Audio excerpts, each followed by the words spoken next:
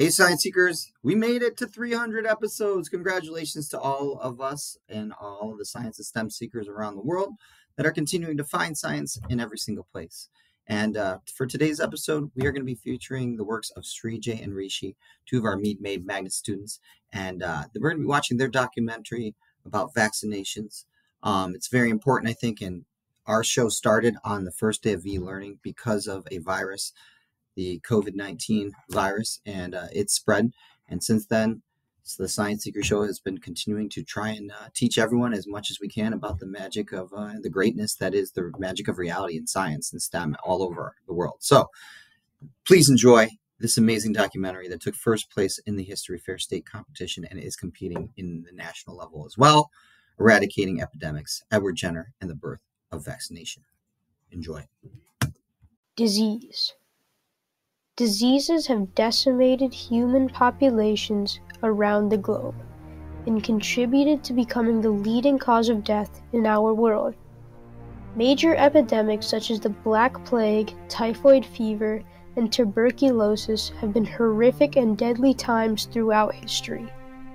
One lethal disease that plagued all of humanity, led to the fall of millions, and ravaged the earth was smallpox.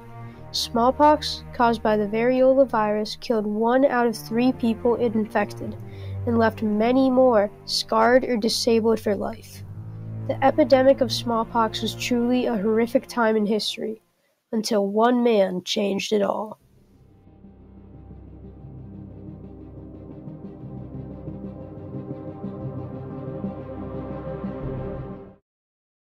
The creation of the smallpox vaccine was a huge turning point in history worldwide as it saved millions of lives, and as the first virus to be completely eradicated, it paved the way for many other deadly viruses to be indirectly eradicated, saving the lives of millions more. Also, as the first vaccine, it paved the way for the creation of the entire field of vaccinology and the many other life saving vaccines in the future. Smallpox was first officially recorded in 1764, but it has been terrorizing our world for a much longer time. The origins of smallpox are quite unknown, as a description of a virus similar but not evident to be smallpox was written in 4th century China, while cases such as Egyptian mummies were dated back to the 10th century. Mummies like that of Ramses V tell us a lot about smallpox and its origin. Ramses V had the characteristic scars from smallpox all over his body. This led scientists to conclude that it is one of the oldest cases of smallpox, and it proves that smallpox has at least been plaguing humanity for 3,000 years, making it one of the most widespread diseases over the centuries. Early civilizations throughout the Old World practiced variolation, a process of inserting dead or weakened microbes into humans to provide immunity to a certain infectious virus. In much of Asia and Africa, variolation was practiced by blowing material into a patient's nose. This material was scraped from scars and lesions caused by smallpox. These methods usually resulted in the patient having a newfound immunity to smallpox. Variolation was first introduced to America by a slave named Onesimus. Onesimus was an African born slave who knew a lot about the process of variolation, also called inoculation. Onesimus told and taught his owner, Cotton Mather, about how inserting material from a virus could make it so that the virus wouldn't make them sick again. Mather used this information to popularize the art of inoculation in the distressing time of the 1721 Boston smallpox outbreak. Mather inoculated his own son, Increase Mather, to protect him from smallpox. Unfortunately, Increase became very sick and almost died, causing Cotton Mather to receive a lot of backlash and hate.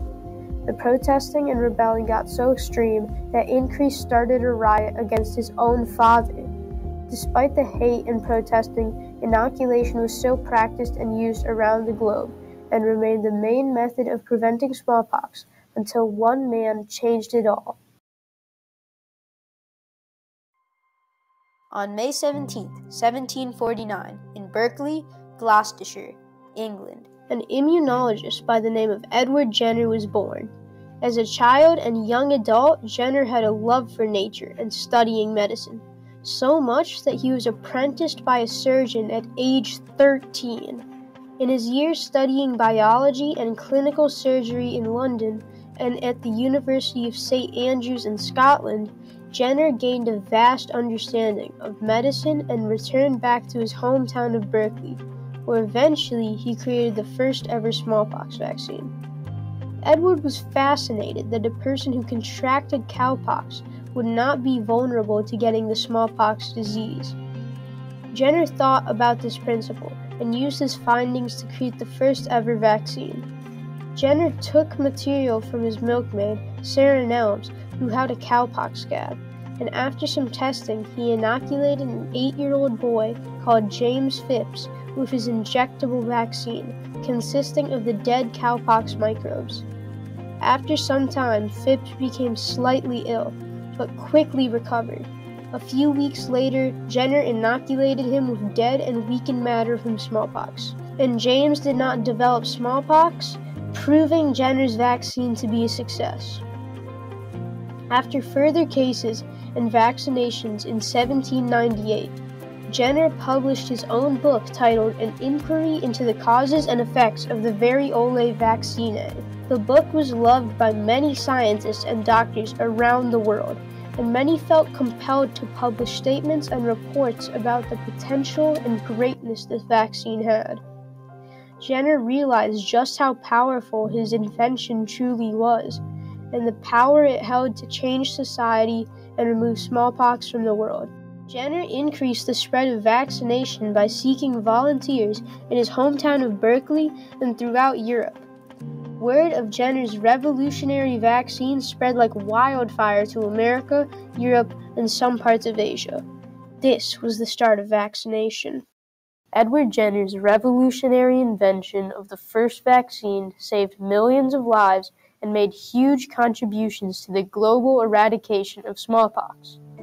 While variolation was an effective technique for the time, it wasn't completely safe, as sometimes the inoculated could contract a disabling or even lethal strain of smallpox. Edward Jenner's vaccine was unique as it was much safer than the previously used technique of variolation.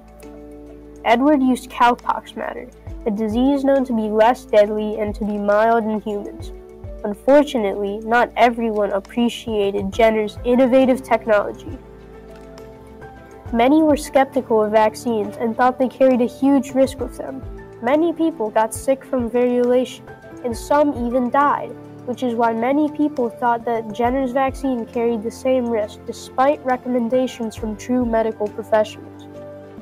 Despite the controversy, the majority believed in vaccination to be our future and did everything to make it happen.